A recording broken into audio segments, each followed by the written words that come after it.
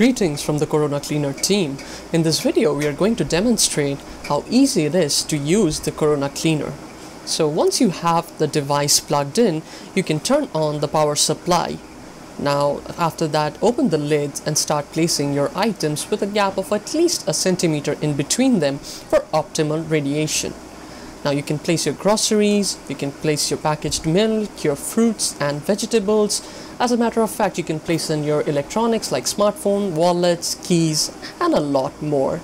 Now once you have them placed, close the lid, turn on the power switch, and then set the timer according to your requirement.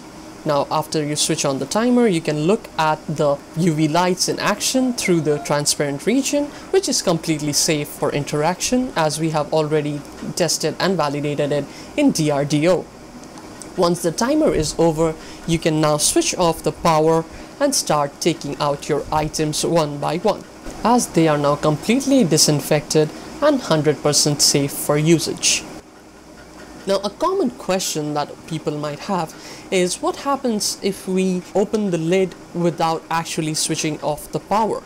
Will it be risky? Well, naturally, since it's UV light, it's risky to human health, but we have that covered as we have ensured your total safety.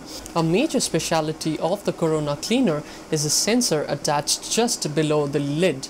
Now, whenever the sensor detects any sort of a pressure difference, it immediately switches off the UV light making your interaction with it 100% safe. Here we have demonstrated that a couple of times for better assessment and review. As you can clearly see, each time the lid is opened without switching off the power, the light instantaneously goes off, keeping you and your loved ones safe and unharmed. Visit coronacleaner.in to book your Corona Cleaner today.